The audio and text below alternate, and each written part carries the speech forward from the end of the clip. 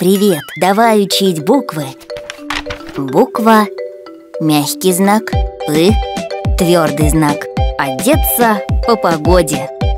Мягкий знак И Твердый знак. Буква Мягкий знак И Твердый знак. Одеться по погоде. Мягкий знак И Твердый знак.